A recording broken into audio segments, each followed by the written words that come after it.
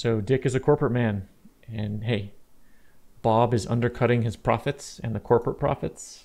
Take care of business. How you doing? Uh, uh, uh.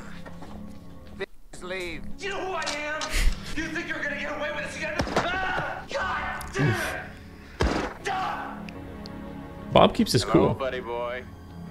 Dick Jones here. I guess you're on your knees about now, begging for your life.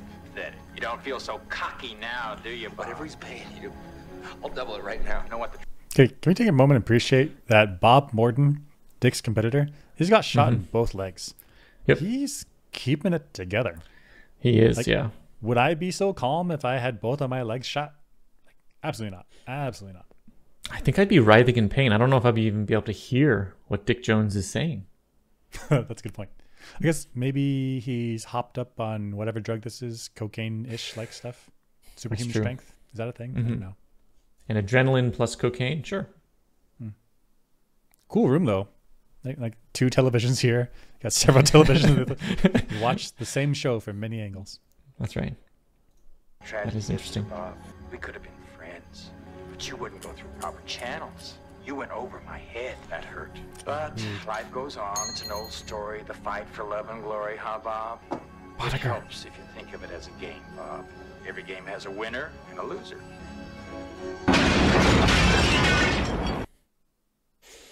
So Bob loses Yep. and Dick wins. And Dick wins because he understands the game. If you want to if you need to collaborate with organized crime to take out your competition and get the get your bag, get your get your winnings, you do it. Mm-hmm.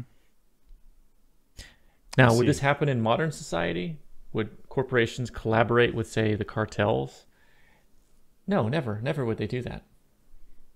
Never. I It see. would absolutely never happen. They would report them immediately to the authorities. Gosh. Okay. Okay. So Dick is super clever here because he hires Boddicker, who is an actual criminal, to do Yep. criminal stuff. And so if police ever and figure this out, what happened here at Bob Morton's house, they're like, a criminal did it. And they correctly find a criminal did it. It's not like Bob's getting some like clean person and then the clean person's going to turn on him, right? And so, do corporations work with actual criminals? So that way, if the criminals get caught, just immediately under the bus. Maybe. I mean, that's that's They- what you would do, right? Right? That's what you would do. Maybe create a shell company in some kind of third world situation, offshore situation, to to offload your illegal activities. I don't think they would do this in the modern world. I mean, I that think would they would promptly re- report the criminal activity to proper authorities and give up the profits. Yeah, because no amount of profits is worth doing any criminal activity.